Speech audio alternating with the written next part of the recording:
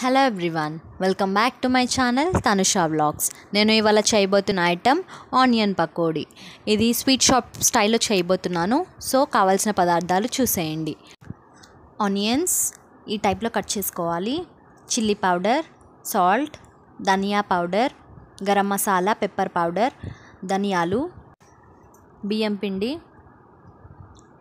శనగపిండి అల్లం వెల్లుల్లి పేస్ట్ కరివేపాకు కొత్తిమీర పచ్చిమిర్చి.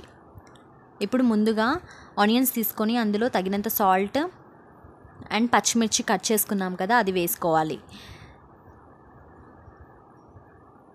వేసుకొని అలా బాగా కలుపుకోవాలి. అలా కలుపుకోవడం వల్ల మనకి వాటర్ అనేవి వచ్చేస్తాయి ఆనియన్స్ నుంచి. చూడండి వాటర్ లాగా అనిపిస్తుంది కదా అలా కలుపుతూ ఉంటే వాటర్ వచ్చేస్తాయి ఆటోమేటిక్గా. ఇప్పుడు చిల్లీ పౌడర్ వేసుకోవాలి. One tablespoon chilli powder.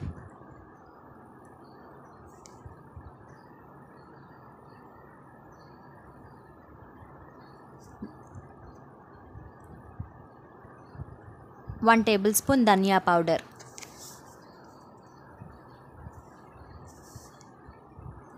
కొద్దిగా గరం మసాలా అండ్ కొద్దిగా పెప్పర్ పౌడర్.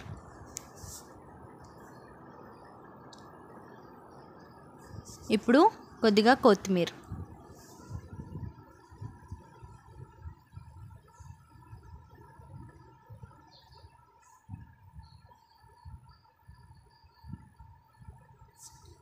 ఇప్పుడు కొద్దిగా అల్లం వెల్లుల్లి పేస్ట్.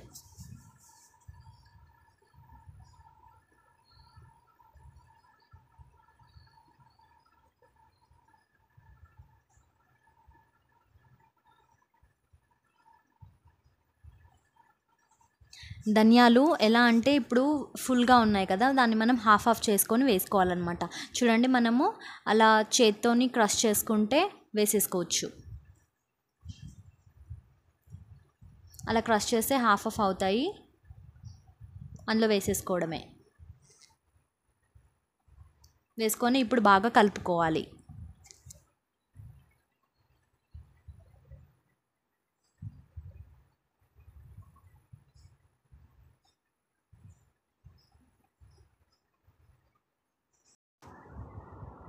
ఇప్పుడు బియ్యం పిండి అండ్ శనగపిండి. వీటి క్వాంటిటీ ఎలా తీసుకోవాలి అంటే చూడండి టూ టేబుల్ స్పూన్స్ ఇది తీసుకున్నాం అనుకో. హాఫ్ కప్ శనగపిండి తీసుకోవాలి. అలా అయితేనే క్రిస్పీగా వస్తాయి. ఇప్పుడు ముందుగా కలిపి పెట్టుకున్నాం కదా ఆనియన్స్ అందులో శనగపిండి వేసుకోవాలి. శనగపిండి అండ్ బియ్యం పిండి. నేను హాఫ్ శనగపిండి మాత్రమే వేసుకున్నాను. ఇప్పుడు మిగతా హాఫ్ వేసుకొని కొద్దిగా వాటర్ ఇప్పుడు వాటర్ అవసరం లేదు. కావాలి అంటేనే వేసుకోండి. ఎందుకంటే మనకి ఆనియన్స్లో వచ్చే వాటర్ సరిపోతాయి.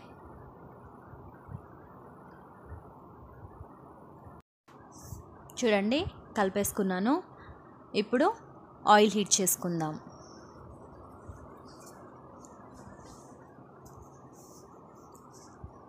ఆయిల్ హీట్ చేసుకొని కొద్ది కొద్దిగా అలా తీసుకుంటూ వేసేసుకోవాలి.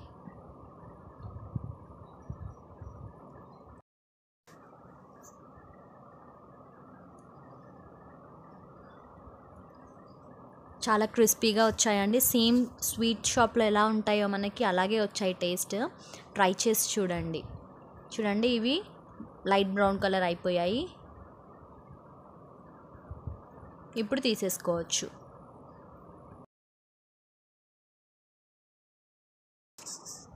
లాస్ట్లో కొద్దిగా కరివేపాకు ఫ్రై చేసుకొని ఇందులో వేసుకోండి. అంతే అండి సింపుల్ ట్రై చేసి చూడండి.